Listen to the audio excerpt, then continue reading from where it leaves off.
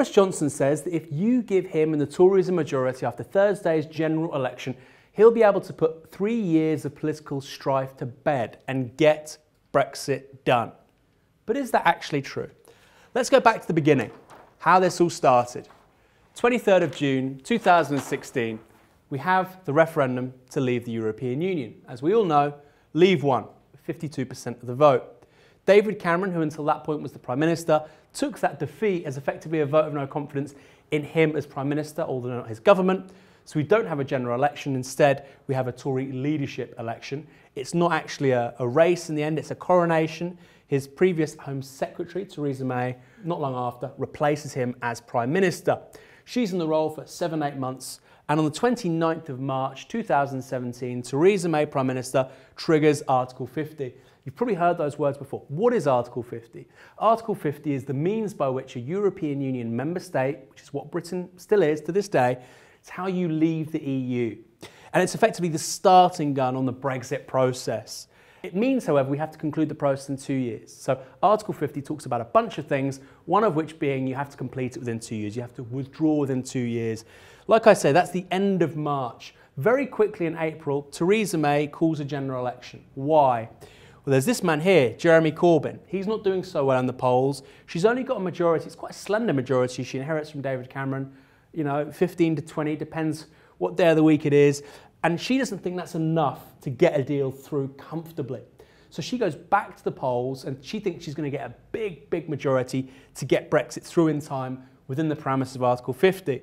However, we have a big surprise in 2017. Jeremy Corbyn, his Labour Party get 40% of the popular vote. It's a hung parliament, and this creates big problems because we need to get Brexit done, but now, unlike previously, we don't even have a majority government. However, as I've already said, Article 50 has been triggered. We have to depart within two years of March 29, 2017.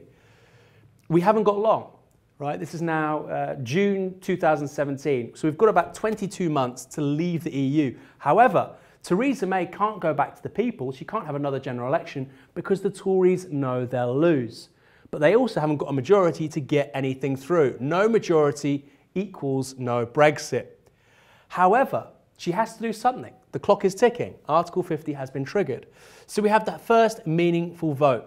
January 2019, earlier this year, the Tories put Theresa May's withdrawal uh, deal to the House of Commons and it loses. It's the biggest parliamentary defeat for any government in British political history. She loses by 230 votes. She makes some changes. Again, she hasn't really got much of a choice goes back to the Commons, loses by 140. Not as bad as previously, but still a colossal defeat for a government. She goes back a third time. Uh, this time, we've had an extension to Article 50 because it's clear we're not going to get out in time, we're not going to get a deal past Parliament in time. The deadline is no longer 29th of March 2019, it's now been pushed back to October. In any case, towards the end of March, we have the third meaningful vote. She loses. Again, not by as large a, a scale as before.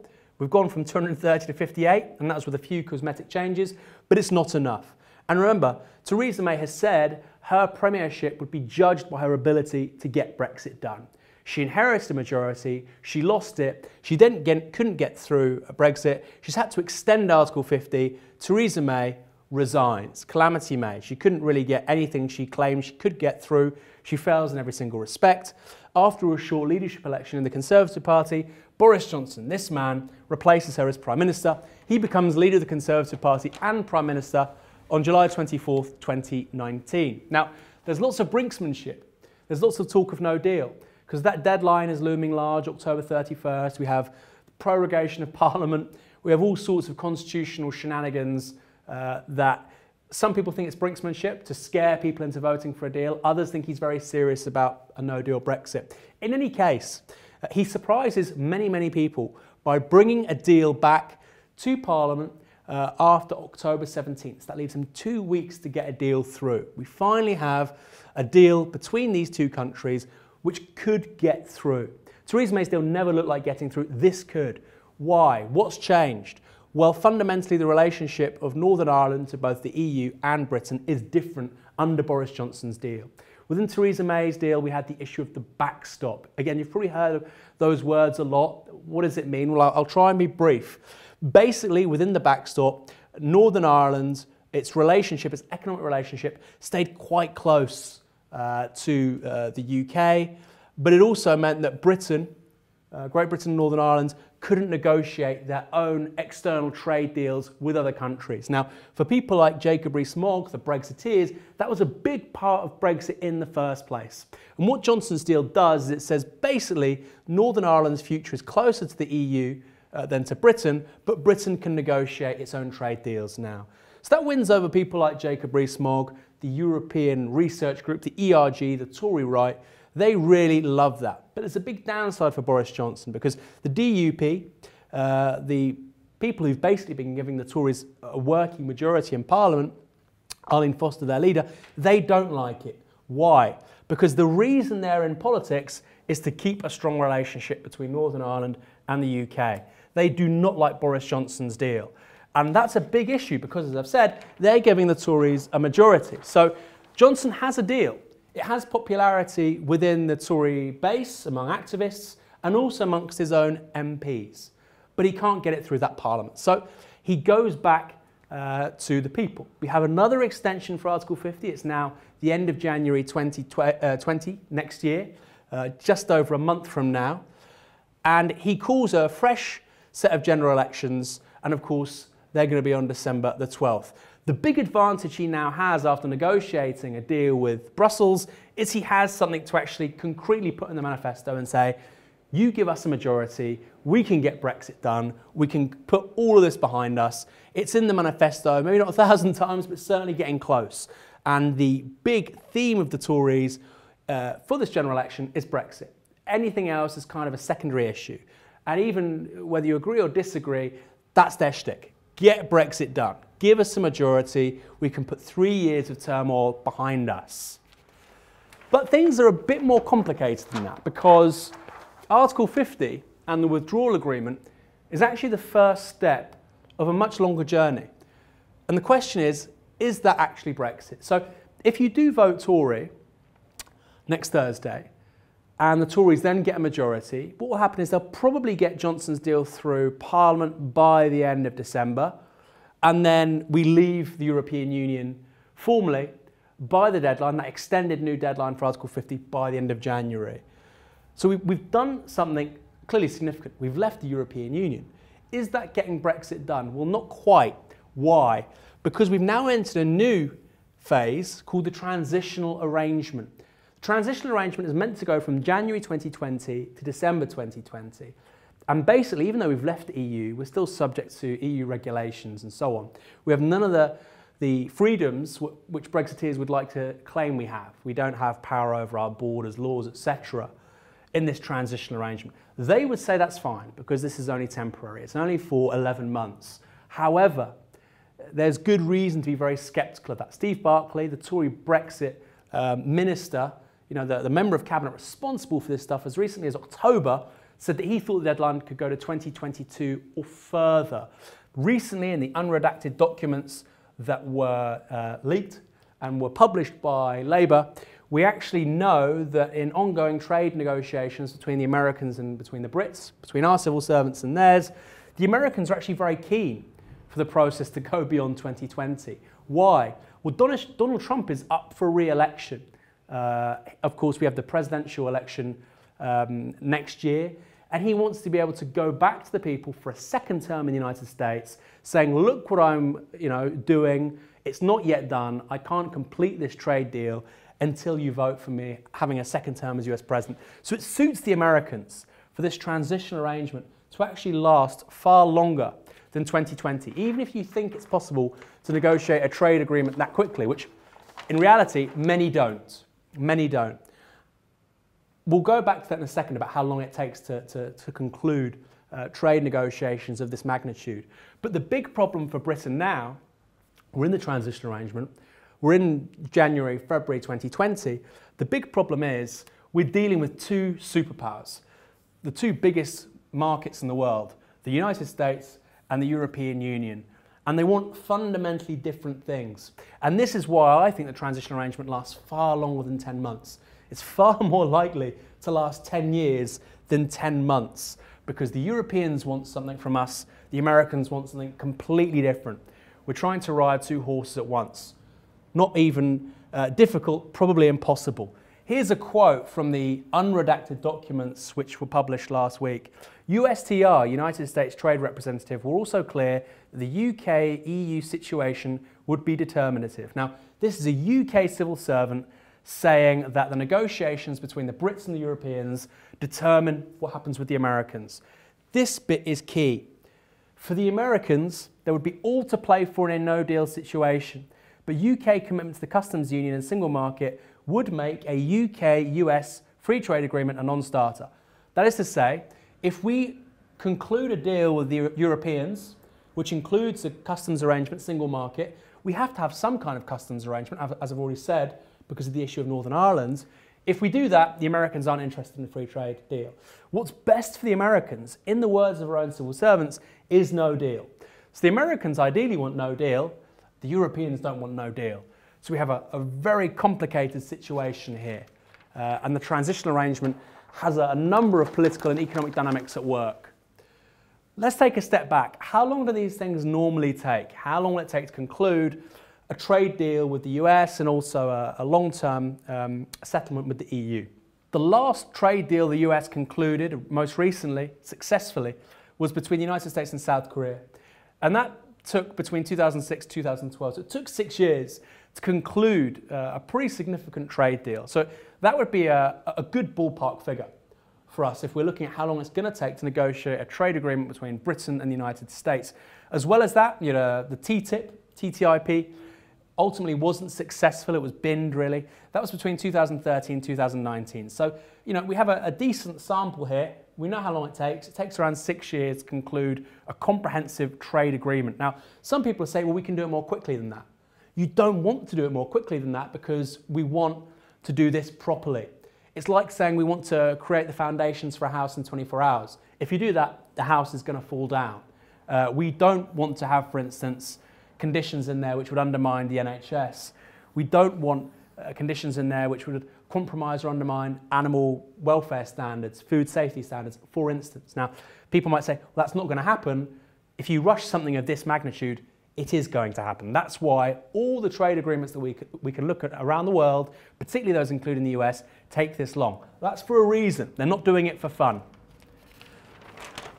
At the same time, at the same time as trying to ride two horses, at the same time as knowing that these things take a lot longer than 10 months, like I say, we're in this transition arrangement. It's going to take a significant amount of time before we have a longer term partnership with both the EU and the US.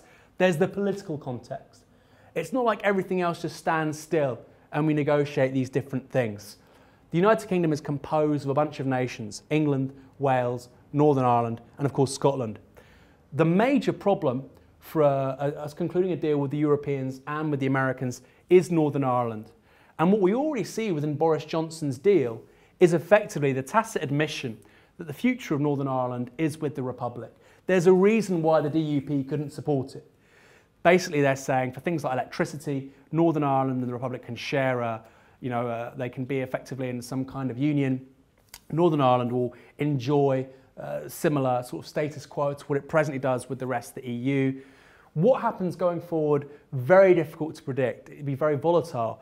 You could have unification, but you wouldn't even need to go that far. It could stay, Northern Ireland could stay in the UK, but ultimately it has a, an economic relationship with Ireland, which is far more integrated. Uh, legally, it may remain a part of the UK, but in reality, actually, it's far closer to the Republic. Long term, what does that mean? I think unification is very, very plausible. All depends on how badly negotiations go for the rest of the UK with both the EU and the US. On top of that, you've got Scotland. Scotland, of course, has an independence referendum in 2014. They lost by 45 to 55. Why? Because a vote for independence was seen as a risk. It was seen as a risk because of things like pensions, the absence of their own currency, etc. But now Britain's not just left the EU, but we're in some strange uh, space, a limbo, where we're negotiating different things the US, the EU. The NHS is under threat. And the Scots in 2021, because Nicola Sturgeon's SNP get another majority at Holyrood, the Scottish Parliament, they either get a majority or they get a working majority with the Scottish Greens, determine it's time for another independence referendum. They get that in the early 2020s, either 2021, 2022. Scotland has voted for uh, parties who aren't the Tories since the 60s. Scotland, Scotland feels we keep on voting Labour or SNP and yet we keep on getting Tory Westminster governments. We've had enough. In that second referendum, they choose, in their eyes, stability rather than chaos. So they depart the uh, UK so they can rejoin the EU. Scotland rejoins the EU as an independent nation. What's more, it adopts the euro. Now, this is really important. Why? Because not only has Britain lost one of the home nations, uh, it's now declared independence, but also it's into, integrated in a massive market, hundreds of millions of people, and a currency which is increasingly strong against pound sterling. Businesses in places like Newcastle, Carlisle, they move to Scotland, they move to Glasgow, to Edinburgh. These are far more stable places to run a business. Young people in, in these same areas, Cumbria, Northumbria, etc., Northumberland, they move to Scotland too. They see far greater prospects for them in a successful independent Scotland than in England, which is really in a, a bit of an economic pickle as it uh, continues in long term but very slow and grueling trade negotiations with both the EU and the US. So things on this timeline are looking pretty bleak. The 2008 crisis, we don't need to go into it. We know how bad it's been for the British economy. Since then, you've had flatlining pay in Britain. Between 2008 and 2019, productivity, uh, wages, economic growth has been broadly flat, 11 years. But in this timeline, because of the problems we're seeing with the transitional arrangement, that continues. That is the new normal. Now, have any countries had to engage with those kinds of economic problems, that level of inertia before? Yes. One is Italy, another is Japan. People talked about Italy's lost decade after the early 1990s. It then suffered another one. It's presently in its third lost decade. Something very similar to Japan. Uh, basically, low to no growth society. So it's perfectly plausible that that is an, an image of Britain's future. However, on top of the issues of economic inertia, we've also got political instability. We're seeing the Union pull in different directions Scottish independence, Northern Ireland throwing its lot with the EU and the Republic, and Wales. Wales sees Scotland making a success of independence uh, by the mid 2020s. They see the Northern Irish making a success of closer integration with the Republic. They say, we want a part of that too, because this isn't looking good. If this is the future of England and Wales, we don't really see a future here at all. So Wales gets a referendum, let's say mid to late 2020s. It's going to be very close. No two ways about it.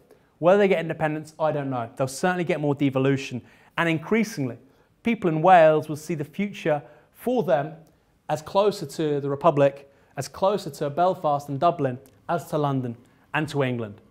So things are looking really tough. The political context is difficult. The constitutional settlement of Britain is breaking down and the economy is completely stagnant. But Brexit is almost done.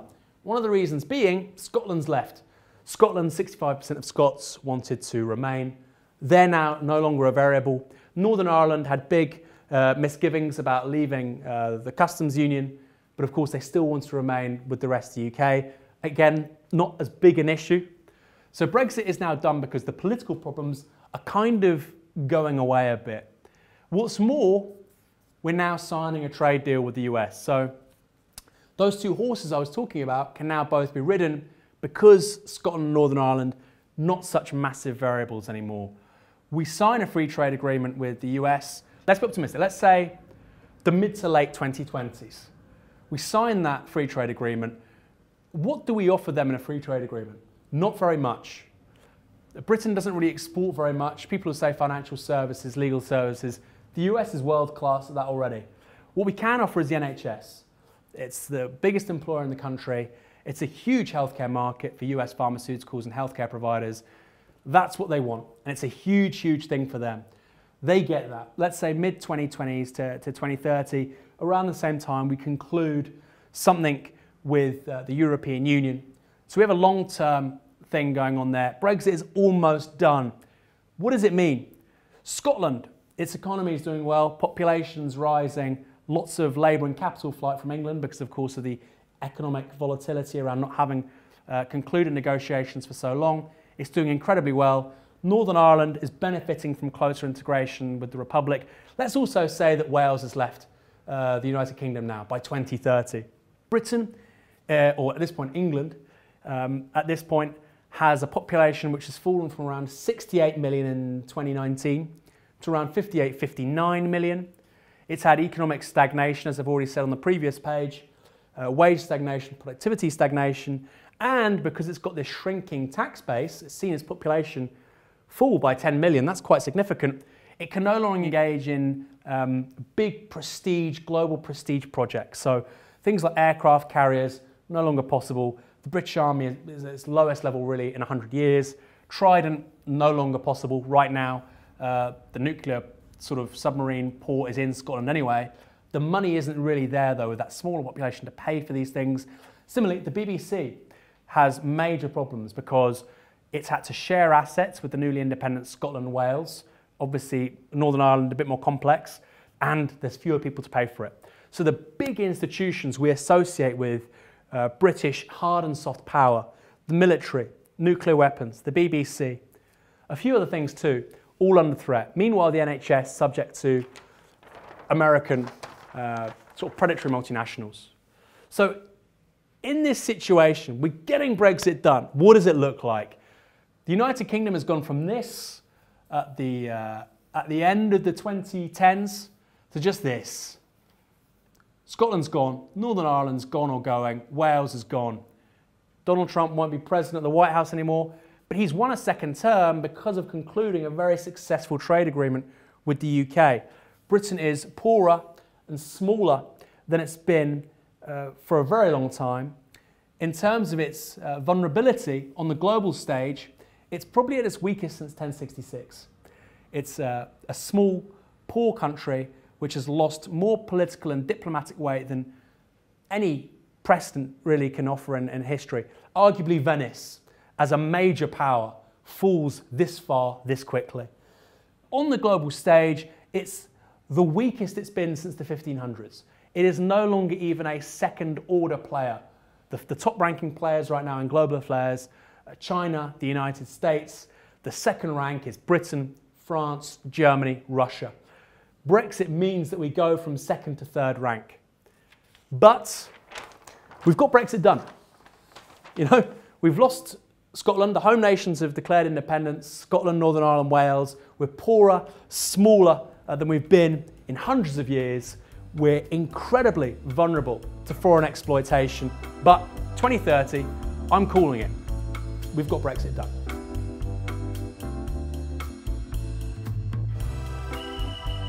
If you've enjoyed this video, you think you've learned something from it, it's added value, perhaps you weren't sure about some concepts and they're a bit clearer now, here's something you can do. You can go to support.novaramedia.com, that's our logo.